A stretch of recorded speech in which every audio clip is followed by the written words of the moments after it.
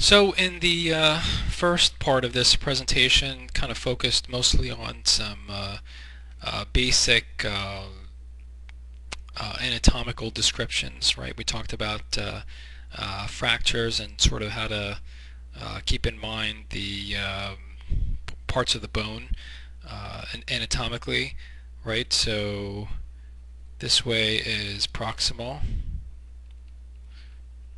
right? And then uh, away from the center of the body, right? That's distal. Right, and then you have your your uh, your uh, anatomic areas of the bone, right? So this would be the say this is the diaphysis of the tibia, all this area, um, and then you have the metaphysis, which is probably the distal metaphysis would be here. Uh, proximal metaphysis maybe this portion here, and then you have the epiphysis, right, or the uh, portion with the articular surface, right, so the joint surface. So uh, diaphysis, uh, metaphysis, and epiphysis. All right, so keep those in mind. Obviously, we're going to use a lot of that terminology. Uh, the joint surface, sometimes we just call the joint surface rather than the epiphysis or the distal end. And we talked about physical examination, about how you know you need to look for tenderness uh, to palpation at the fracture site for questionable cases. You know, you're not always going to have a case that looks like this, for instance.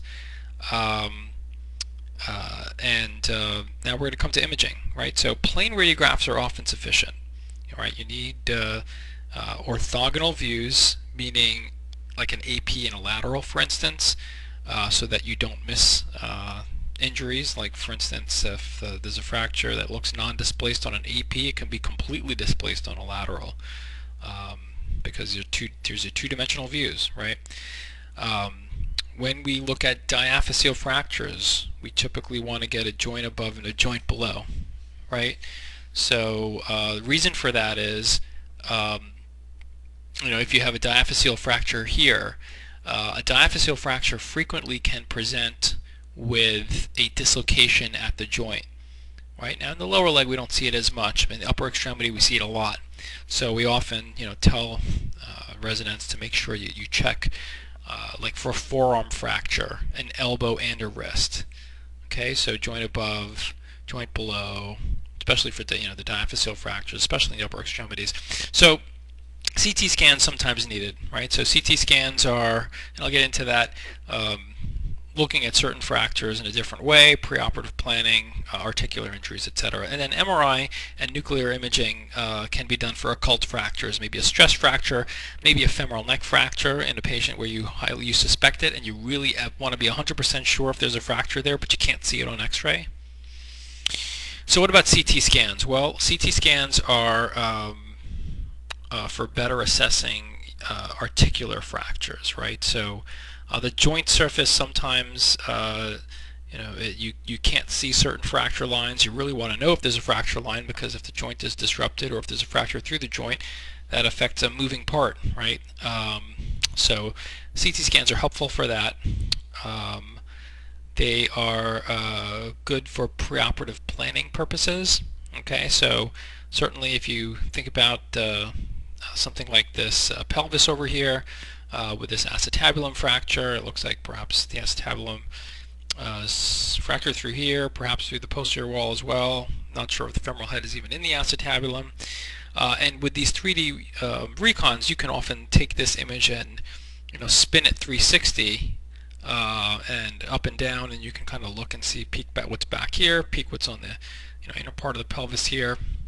And you know, for pelvic, scapular, and spine fractures, they're really helpful, right? Because they're not just simple long bones.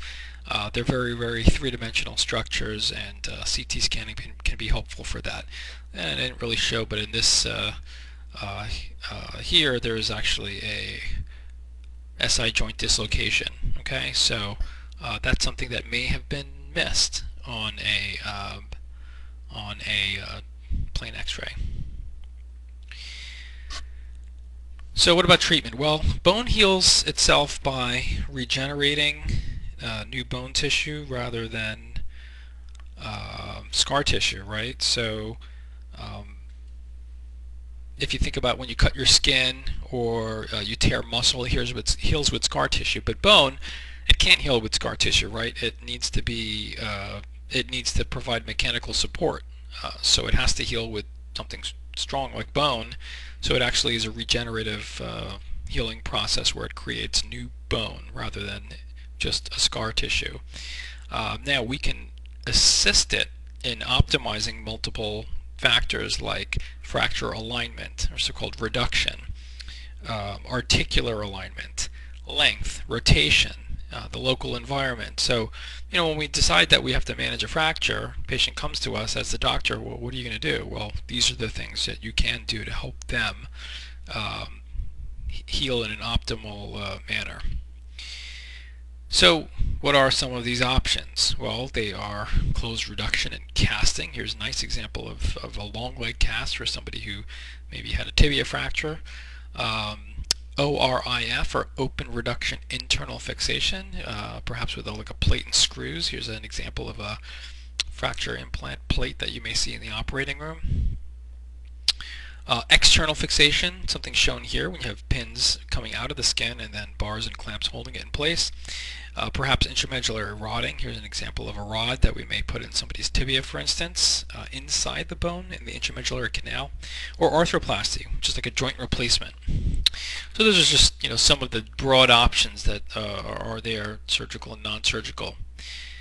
So casting and bracing are indicated when fracture alignment is acceptable, when immediate joint motion is not necessary, and uh, when surgery is contraindicated. Okay, so it doesn't have to be contraindicated, but if it is contraindicated, then you're left with having to do a cast or a brace for, for many cases. Open reduction internal fixation is indicated when anatomic reduction of the fracture is necessary. So if you need to make something look perfect for whatever reason, I won't get into all of that, but one thing I would say is joint surfaces, for instance, need to be uh, anatomic. So when you have a disruption of the joint surface, we usually have to open it, put it back together.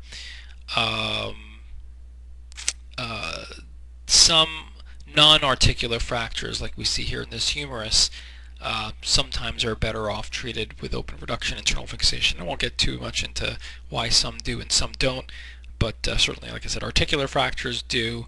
Um, if you have a fracture where early joint motion is preferable, so come back to this or even this. Um, if you were to treat a, let's say, if it was a non-displaced scaphoid non-surgically, patient would be in a cast for um, potentially three months or so.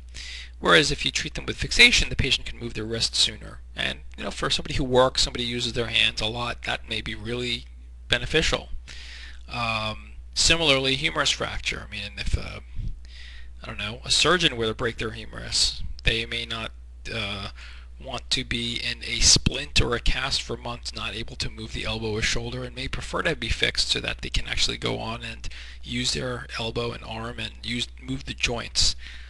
So sometimes surgery is indicated for, for those reasons.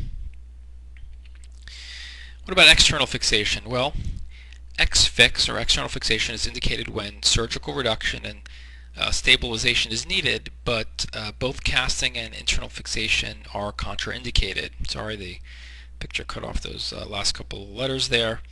Um, but uh, this is for severe open fractures, uh, for uh, infections, and these are just some examples. or perhaps the bony anatomy is not amenable to internal fixation, right? So if you have uh, here you have uh, this uh, nice example of a straight uh, tibia. You could imagine if you wanted to, I mean, if, if this patient was definitively going to be treated with a rod, I mean, you can get a rod, you know, commercially available, a rod that drop down there. Sorry, it's not perfectly straight. But let's just say that that person's uh, tibia was normally, like in, in that particular patient, they had rickets or something, and they have this long sloping bow, and then they fracture here well, you know, they don't make rods to go inside someone's tibia and recreate this. You know, and you may not want to recreate that. You may fix this so that they become straight, but um, or let's just say the patient doesn't have uh, a proper uh, canal, right? So, you know, there's actually it's hollow, right? So there's a there's like a medullary canal where the rod has to fit. Well, some people that canal is extremely narrowed and um, you can't get a rod to go down. So uh, in those cases, um, again, something like an external fixator is you can put a couple of pins in a bar and just about anything. Uh, and these are two examples. Here's an example of a um, uh, sort of a uniplanar simple fixator, uh, and here's an and perhaps there's a uh, um, yeah, perhaps there's a fracture. Uh, let's just get rid of this, and perhaps there's a uh, maybe there was a fracture here or something like that and uh, two pins above, two pins below. Uh, this is called a ring fixator here. So in here you actually have uh, circular fixation. There's a ring here, ring here, sort of like rings and half rings around the foot. Um, different reasons for using this. Uh, this can actually use thin tensioned wires. Um, it has a lot of other uh, potential applications when you do a ring fixator. We won't get into too much of that. Um, coming back to this, the, uh, the, portable traction, right? So sometimes you have a fracture in the knee or the ankle, let's just say as examples, uh, and the joint surface is compressed and um, you just want to get it out to length. And actually this is where you're going to see X-Fix used a lot in trauma centers. Uh, you put some uh, pins down here in the tibia, uh, you put some pins, uh, let's say for a knee fracture, you put some pins up here in the femur, and then you sort of you know, you pull traction, right? You distract this way and this way, and um, you pull things, you know, the, the joint surface out to length. And it's like a portable traction, essentially, right? It's like pulling on the person's leg, except the person can move around with that. And in that case, it could be something temporary. But in some cases, external fixation is definitive. So um, it can be used for both, but most of the time you see it used as temporary treatment. And what about intramedullary nailing? Well, these are rods, right, that go in the intramedullary canal. They're uh, indicated when it's okay to have only gross fracture alignment to restore function. Typically for diaphyseal fractures, mostly the tibia and femur, but some bones to the lesser extent, the humerus, uh, can be rodded as well. They even make rods for almost anything with a which has a canal, uh, forearm, you know, metacarpals, etc. But uh, most of the time they're used and they're successful in the femur and tibia. And they do require a patent medullary canal without pre-existing deformities uh, because these rods cannot be really shaped or anything. I mean, they come in commercially available you know, sizes and widths and curves and um, you know, if a patient has a little bit too much uh, uh, atypical morphology of their bone, the rod's not going to go in. You know, plates and screws you can sometimes bend and twist and get them to fit. And like I said, an X-Fix you can put on almost anything, but rods really, really uh, have to kind of, they have, a, they have a tight path to navigate. And arthroplasty, right? So arthroplasty is indicated for articular and periarticular fractures, right? So fractures of the joint surface and, or, and right near the joint surface when repair is not possible. Okay, and replacement is the only option to return to function. So uh, I give an example of a femoral neck fracture that's displaced in the elderly, right? Because the, the other thing is certain joint replacements you don't want to do in younger patients, the hip being one of them. Uh, another example is a comminuted radial head fracture. Not a weight-bearing uh, thing, so you will sometimes see these done in younger patients if it's absolutely necessary and unfixable. Another example, head-splitting proximal humerus fracture in the elderly. You could potentially treat with an arthroplasty or a joint replacement. You basically say, you know what, this is not going to come out well. If we try to fix it, it's going to have a poor outcome. It might not heal. It might have osteonecrosis. We're just going to throw it in the trash, put in a joint replacement, and that's going to make this patient functional, not need more surgery. And because they're older, it's not going to wear out in a year or two, um, as opposed to you know, 20, 30 year olds who try not to do joint replacements. So I'm going to stop there and um, we'll pick up with some of the associated injuries and neurovascular exam compartment syndrome in the next set of slides. Thanks.